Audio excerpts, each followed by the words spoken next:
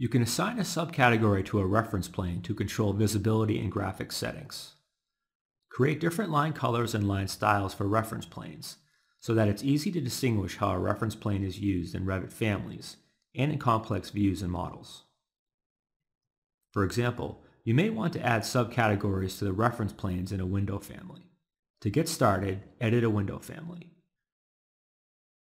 Use the Object Styles dialog to create a subcategory for each of the centerline reference planes.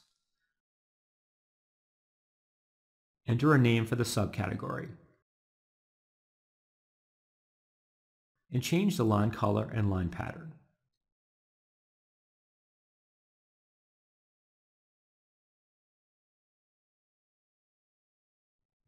Next, assign a subcategory to each of the centerline reference planes.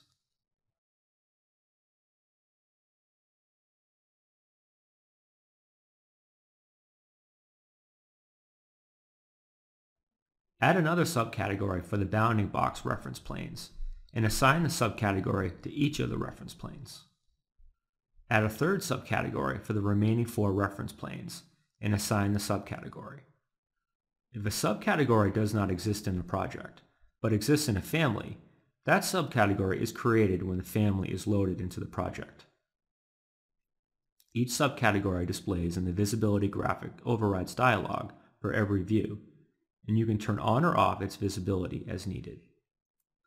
Use subcategories to assign different line weights, line colors, or line patterns to reference planes and Revit families. You may want to coordinate with team members on additional subcategories for reference planes as needed.